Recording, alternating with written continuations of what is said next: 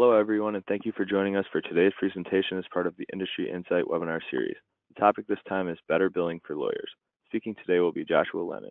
Joshua is an attorney admitted to the New York Bar. He studied law at St. Louis University School of Law, obtaining a Juris Doctorate and a certificate in international and comparative law. During this time, Joshua clerked for the Missouri Attorney General, helping prosecute discrimination claims on behalf of Missouri citizens. He also studied European Union law at the University of Georgia School of Law's Brussels Legal Seminar. When working for Thomson Reuters' publishing departments in both the United States and Canada, he helped legal practitioners improve their services. Joshua currently serves as lawyer in residence for Clio, providing legal scholarship and research skills to the leading cloud-based practice management platform headquartered in Vancouver, Canada.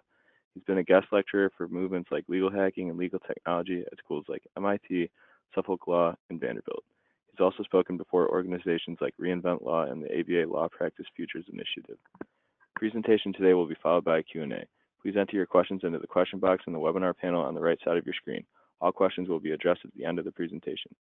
We are recording this webinar and we will be sending a video and a follow-up email in a few days. We will also post the video on our blog over at www.lawtechnologytoday.org. Thank you all for joining us. We'll now begin the webinar. Thanks, Austin. So welcome everybody to Belling Billing, Better Billing for Lawyers. I'm Joshua Lenon. As Austin mentioned, I'm an attorney admitted into New York, and I'm the lawyer in residence at Clio. And that's a, a scholar position that enables me to research things like billing for law firms, what works and what doesn't. And I'm very fortunate to have access to an incredible data set at Clio that's going to come into play in today's presentation. So what's our agenda? There's a lot to cover. We're going to take a look at billing woes and the problems that law firms are having. We're going to talk about the fact that you have a huge volume of billing data and that there are some great processes that we can start to extrapolate from that data. And we'll distill those all the way down to best billing practices. We'll have a few walkaway conclusions for you, and then we'll take questions. It's a lot to cover, so let's dive right in. So billing woes. We know from a 2014 survey done by the Law Practice Advisor that law firms are having a lot of problems when it comes to collecting on the bills that they are owed. 73% of small law firms surveyed say they experience past due client accounts. Firms with past due bills tend to affect 10 to almost 40% of their client accounts. And nearly half say that collecting on invoices 90 days past due is unlikely or very unlikely. They're just gone. That's money out the door. And this was a big number that jumped out to me.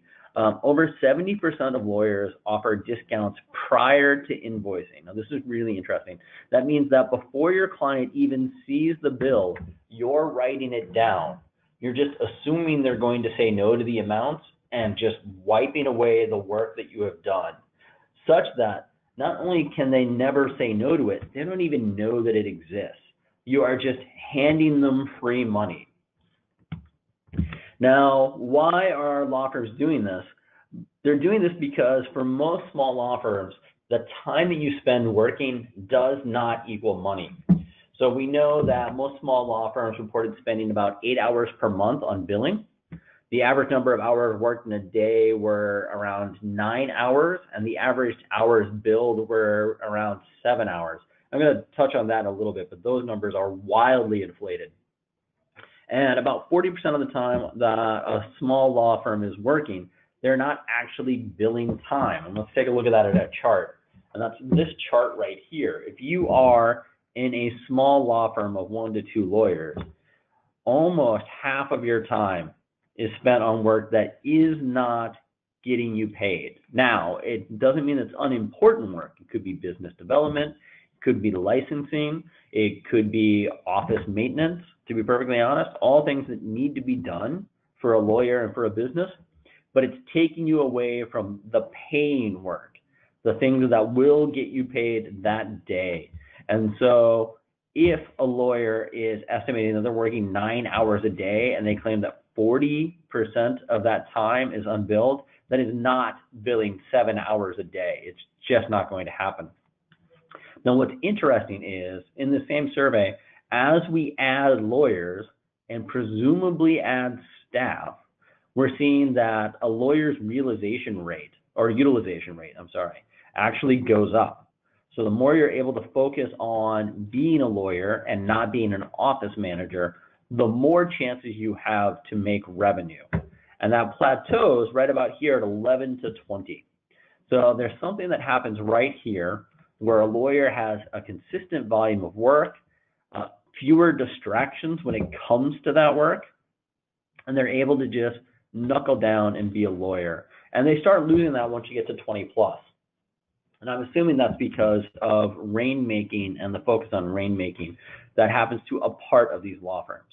But as you can see, if you're in the left hand of this chart, you're working very, very hard, but you're not necessarily getting paid for that work.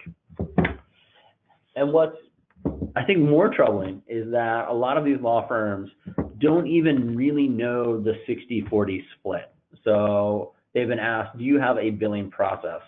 And while we have yes documented in this bright yellow here at 43%, we have a yes undocumented and a no. And I'm going to say undocumented is just as good as a no.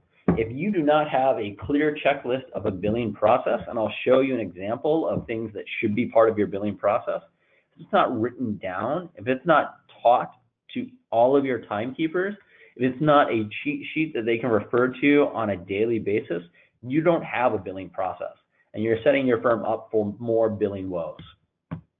And then lastly, we asked, uh, the survey asked, does your firm analyze client billing trends? Can you see, for example, that certain practice areas are more profitable for you as a law firm?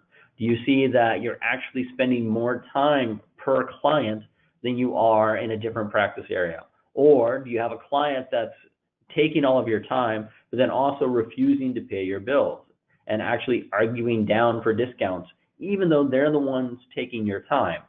And what's interesting is most law firms said no, 72%. They do not have a way to analyze client billing trends. So you're leaving yourself in the dark. Not only do you have undocumented processes, they're eating a lot of your time, at least eight hours a month, for example, on billing. And you can't figure out where all of this time is just going out the door. So we need to find a way to start tracking that data. And that's why we should talk about tapping into the billing data within your law firm.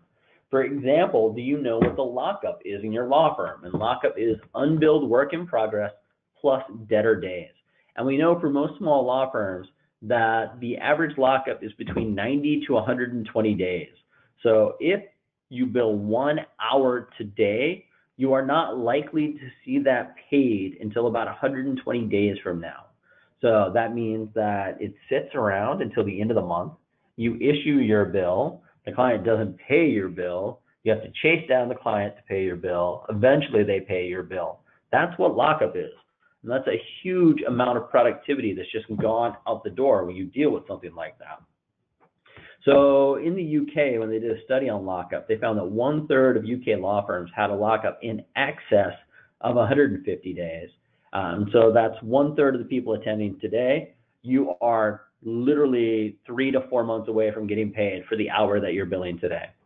And the rest of you, you're just under three months away from getting paid. So this is some scary data. And if you're having trouble with cash flow in your law firm, this is actually one of the reasons why is unfortunately your clients are holding on to the money that they owe you instead of paying you, but you're also actually making it difficult for them to pay you because it's work in progress. You haven't sent them the bill. They don't know the status of the case and the value that you're generating to them. So how do we start tapping into this data to avoid things like lockup? Well, let's take a look at what lawyers track. These are all things that you currently track as a part of your law firm. And it ends up being a huge volume of data that you can start to really pull a lot of information from. And the way you generate this data is the same things that you should be doing anyway as a part of your daily practice.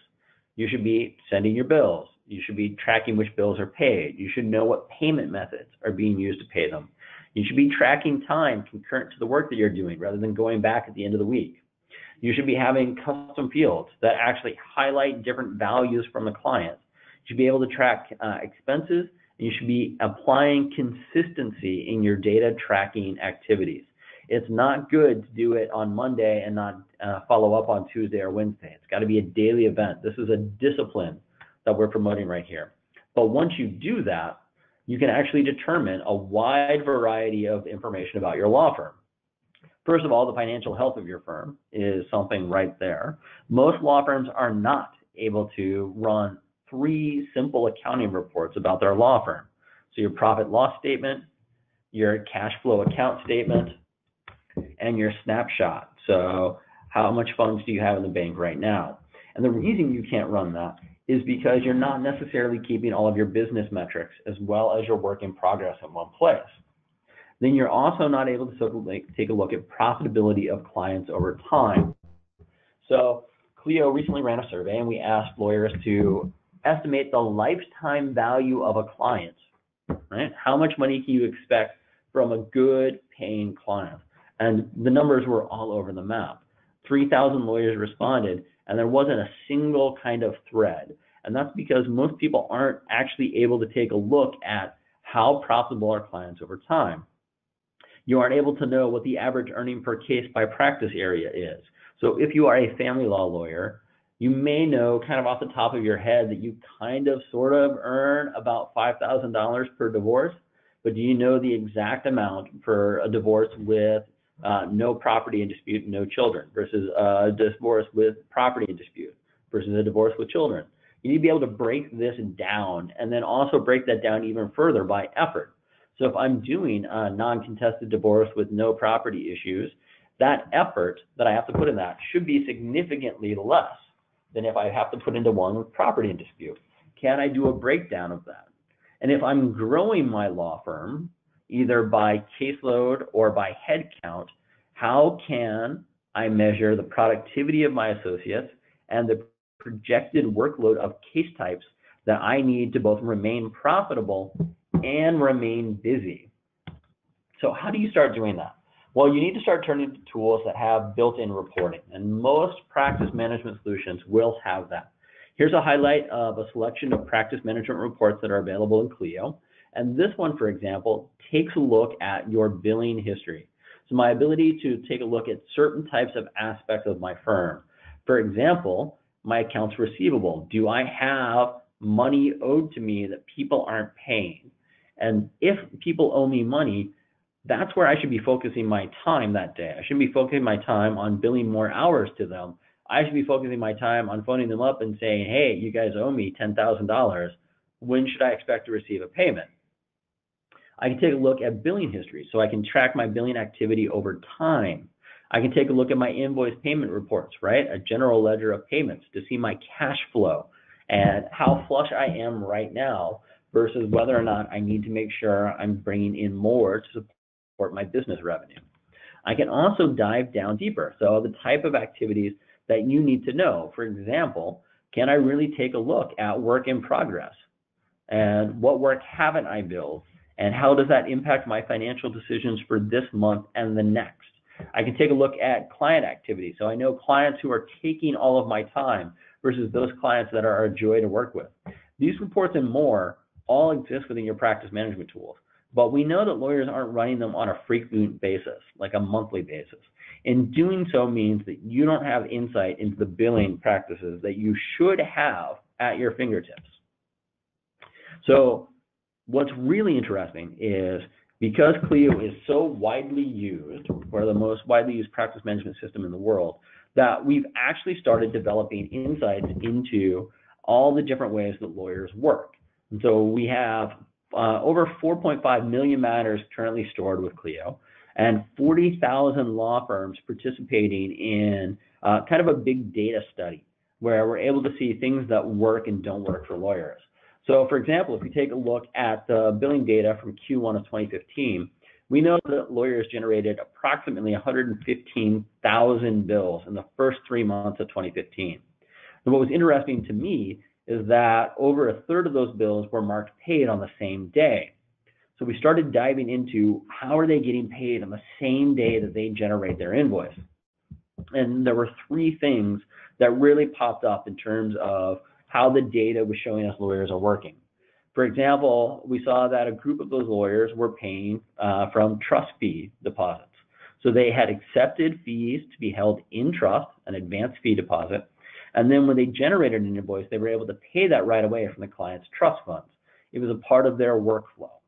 We saw another segment of those lawyers were actually doing flat fees. And so they were getting paid up front and depositing those fees directly into their operating account if their jurisdiction allowed that. Other times they were doing depositing them as advance fee deposits. But because they were getting paid up front, they were marking the invoice as paid. And the last bit, and this one really stood out to me, was there was a segment that also had credit card payments enabled in their account. And they would email out a bill and see the bill paid directly from the client that same day. And so these three processes show us that depending on how your firm is set up and the workflows that work for you, there are lots of ways to make sure that you do not have a lockup of 90 to 120 days. But instead, as soon as you issue your bill, you can be paid. Those people who did not have those workflows actually took 22 days to close on average. So there's all the work that they did, and then it took them 22 days to mark a bill as paid. Now, whether or not it was marked paid as full, um, we don't have access to that type of data. We just know that the bills were marked as closed. So what can we learn from this? We can learn that lawyers, one, are generating a vast volume of data on what works and doesn't work within their law firms. But two, that there's really strong analysis that can be applied that impacts your day-to-day operations. So Clio started taking these data and uh, data insights and publishing them in what we call our legal trends report. And our last one was issued just about this time in 2016, and there's a new one coming out in about a month in 2017. But one of the insights that applies to billing is people who use services like credit card processing tended to have a 35% reduction in average payment times compared to checks. So not only was there that segment that got paid on the same day, but overall, if you're accepting a credit card, you get paid on the same day. So Clio has just started enabling this. We built two features, Trust Request and Clio Payments, that are powered by LawPay and enable lawyers to request either funds be deposited directly into trust account via a credit card payment or invoices be paid directly via a credit card payment. And that's what led to this 35% reduction in payment times.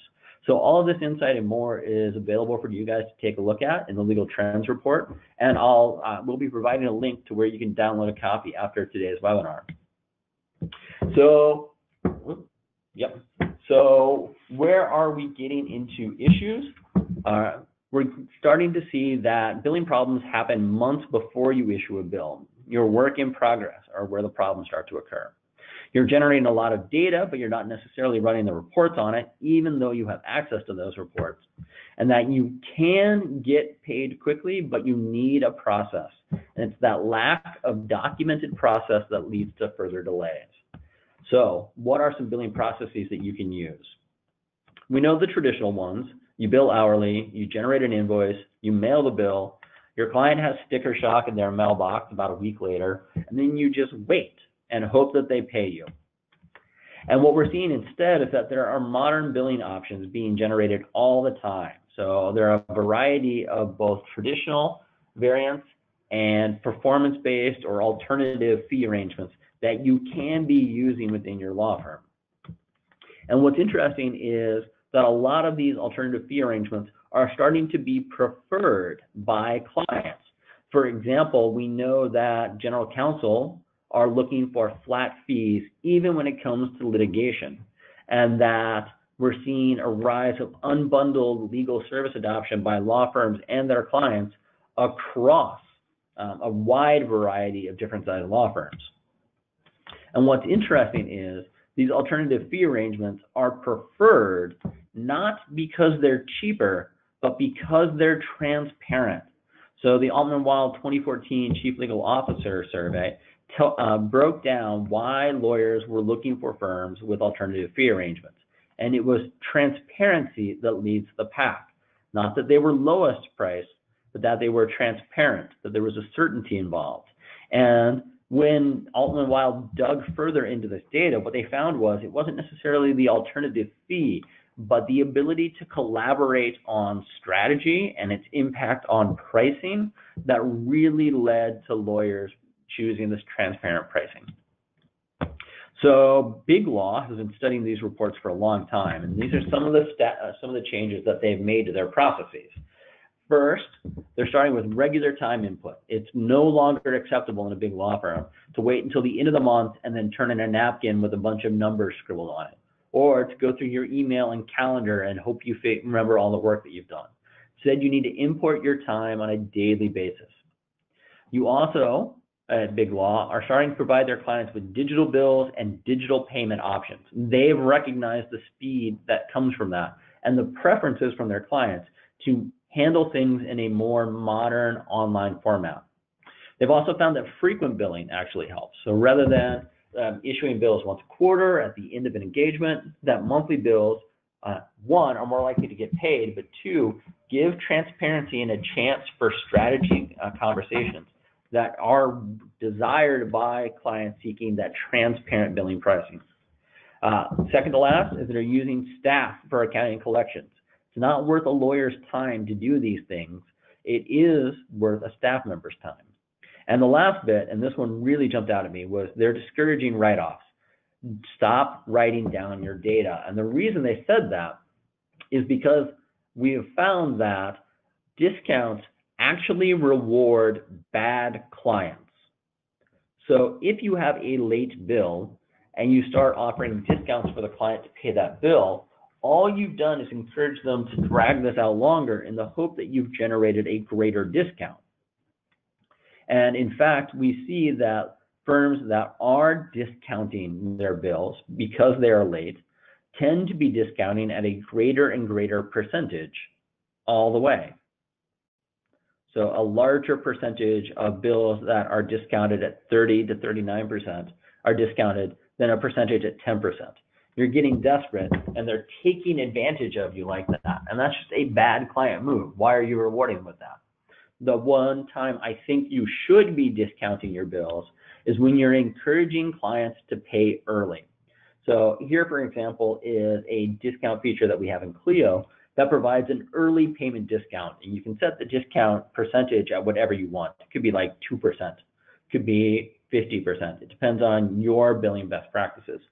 But for example, this bill is due in 30 days, but if the client pays it within 15 days, I might give them a 15% discount. And that's automatically calculated as a part of the payment process within Clio.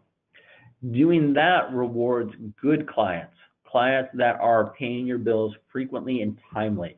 But if you're doing it for late clients, all you're doing is you're letting money walk out the door. So process is important. Discounting is not. Stop discounting your time. We're rounding the last bit. Let's take a look at billing best practices. So one, walk your client through their first bill. You should never just give them a bill and expect them to understand what it says. Uh, clients don't necessarily speak the same language as you, and they need to know what's on a bill so that they understand the value that you're bringing. So while you may deliver the bill electronically, I highly encourage that. Um, you should also schedule some time or do some outreach with them to offer to walk them through their first bill. Once you do that, you'll find that any subsequent bills, they're much more likely to pay them just as is. Billing best practice two, don't wait to send a bill. So many lawyers uh, will end an engagement and then wait till the end of the month to send a bill.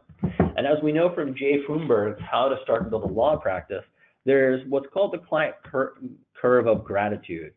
And you really want to hit them like as soon as possible at the top here, right?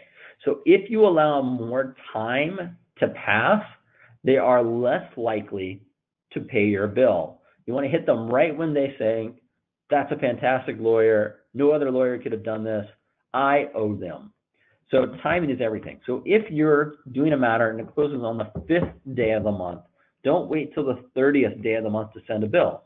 Immediately log onto your practice management solution and send that send that bill. You should also send detailed bills.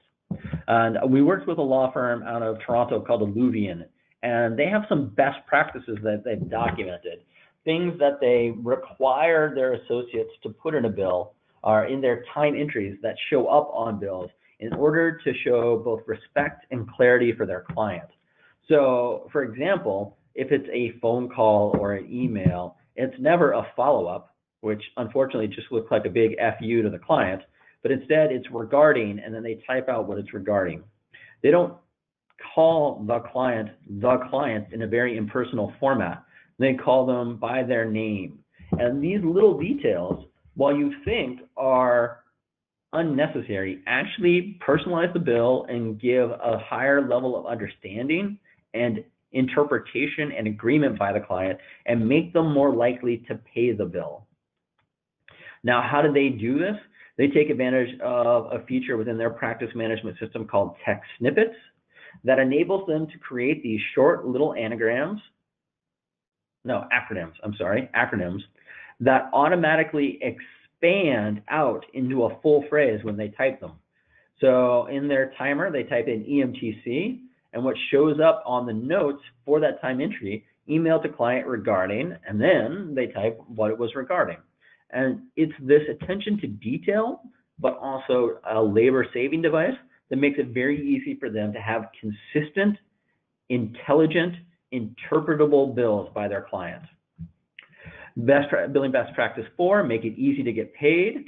That definitely means uh, providing your clients with options to pay you either upfront at the beginning of the opportunity with an advance fee deposit or a flat fee, uh, depending on your jurisdiction, and online payments. I can't stress that enough. If you don't have that, you're leaving money on the table. Billing best practice five, get paid first. As we saw, one third of bills in Clio can get paid on the third uh, on the same day they're issued, and that's if you are clear at communicating to your client on the need for that and using a feature like a trust request to document the amount of money that's requested to be held in trust that can then be transferred on your behalf. Uh, billing best practice six, don't skip trust accounting and regulatory duties. Just because you're using these tools doesn't mean that you don't have to document them fully. So make sure you're choosing a, a, practice management solution that has integrated trust accounting, that has integrated credit card processing that handles it in an ethical fashion for you. And billing best practice seven, don't let unpaid bills sit. So here are a couple recommendations on how to adjust for that, especially if you have some bills that are out there. You can use, for example, fund advance systems like Fundbox that enables you to take outstanding invoices and take an advance against those from a service. So, for example, we have uh, an outstanding invoice of $5,000. I've got a client who's going to pay me in 30 days, but I may be having a cash flow crunch now for things like payroll or rent. Fundbox will actually cover that amount and then work with you on a payment plan when that bill comes due by your client such that you've covered your cash flow. So it's very easy and available to you. And that's a tool that integrates with Clio, for example. Another tool that integrates with Clio that actually enhances billing is Invoice Sherpa. And I really like Invoice Sherpa because as we learned from big law firm billing processes, you have accounts and billing staff handle the work. A lawyer shouldn't be handling accounts and billing. And so what they do is they take the bills from Clio and they'll run things like custom scheduling and reminders. They will send out reminders to the client that, hey, your bill is due in five days. You should pay that. And they can also give invoice reminders, letting a client know if they have a past due, right? And reminding them. And what this does is this automates the collection process such that you don't have to do it. And you can focus instead on your paying clients and the work that they're providing for you. And what's really interesting is Invoice Sherpa can also set up recurring payments. And this is a feature we're looking to build in Clio. This is a great way to handle it outside of that.